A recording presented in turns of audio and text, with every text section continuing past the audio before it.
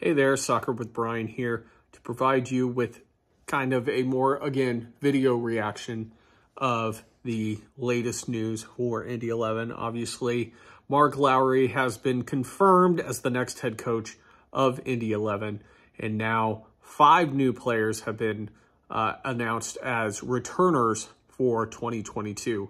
Uh, Manuel Arteaga, Nicky Law, Neville Hackshaw, Jared Timmer, and Karl Ouimet are all confirmed to be returning to the team in 2022. Initial reactions, all five make tremendous sense, whether it's a, a option or two-year contract, whatever the case may be, all of them make perfect sense.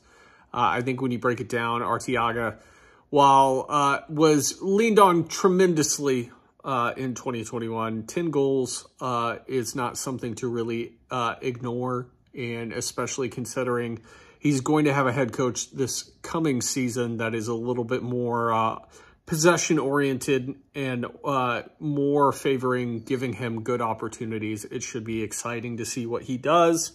Uh, Nicky Law is another player that I'm excited to see.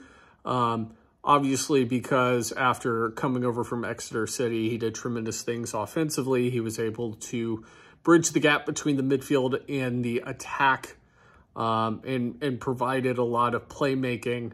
But getting him back not only makes sense, but getting him back after a offseason where he's going to get to rest, given the fact that he came straight from League Two, uh, makes the most amount of sense and should provide many fantastic opportunities. Neville Hackshaw, given. Uh, he was on the short list of really two players that I, I were must returns. Hackshaw's a Trinidad and Tobago international, provides you a lot of options defensively, a lot of options going forward, and he just commands a presence on the field. Uh, Karl Ouimet, again, in the same vein as Hackshaw, uh, he obviously just reached over 100 appearances for Indy 11, but uh, he's just a tremendous leader on the field, vice captain for the team, and I think really uh, when you look at all five of these guys having experience now a year of playing at Carroll Stadium, it does make the most sense. Jared Timmer is the one that actually intrigues me the most. I don't think he was going to be an obvious returner to me. And again, this is all dependent on whether or not it's a two-year contract situation.